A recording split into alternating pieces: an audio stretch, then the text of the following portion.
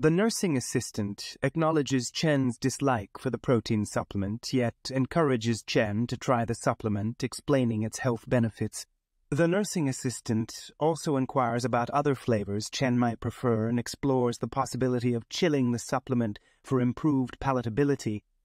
Additionally, the nursing assistant asks about Chen's favorite protein sources, considering her cultural food preferences with the intent to incorporate these choices into her meals if possible. This patient-centered approach encourages Chen to fulfill her protein needs in a manner that respects her preferences. The nursing assistant says, I understand you don't like the taste of the protein supplement, but protein is important to keep you healthy and strong. Is there another flavor you prefer? You can also select more protein choices for your meals. What are some of your favorite foods with protein?